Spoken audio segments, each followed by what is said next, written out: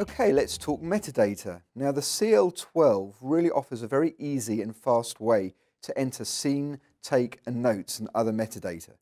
You can enter metadata either via a USB keyboard plugged into the rear panel of the CL12 or via an on-screen virtual keyboard. Now it's really easy. It's simply a case of just pressing the scene button to enter scene, typing in a value and pressing the scene button again to save and exit. Similarly with the take button and the notes button.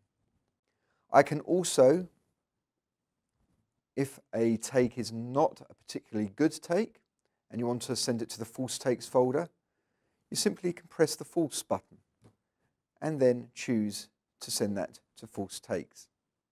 You can also send, uh, put a circle flag on the take if it's a good take. Very quick method for also incrementing the scene number, simply by pressing the ink button. Message comes up saying increment scene name, press OK, and you're ready to go.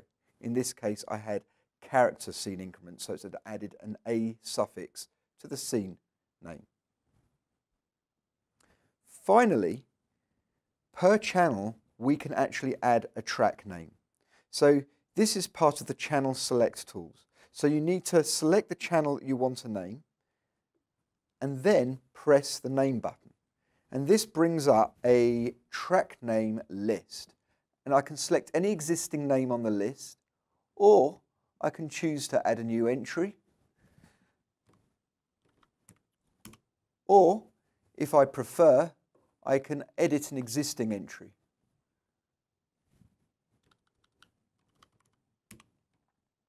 It's as easy as that.